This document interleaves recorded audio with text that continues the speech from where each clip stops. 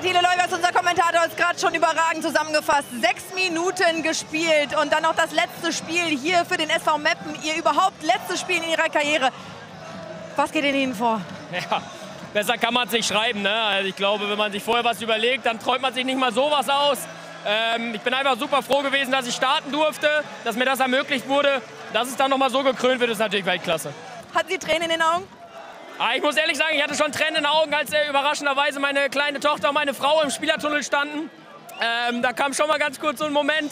Ähm, danach war einfach, einfach pure Freude und eigentlich habe ich zum, beim Zurücklaufen schon gedacht, wechselruhig, ist alles okay, mehr kann nicht kommen.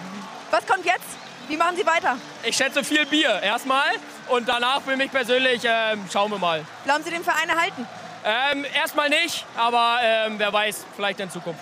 Danke. Danke auch. Da geht die Party weiter beim SV Meppen. Und da geht nochmal das Herz in die Hose. Guckt euch das an. Wie ein Popstar feiern sie Thilo Leugers.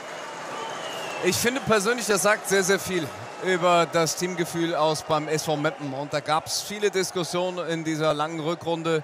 Aber es stimmt offenbar. Alle Spiele live, nur beim Magenta Sport.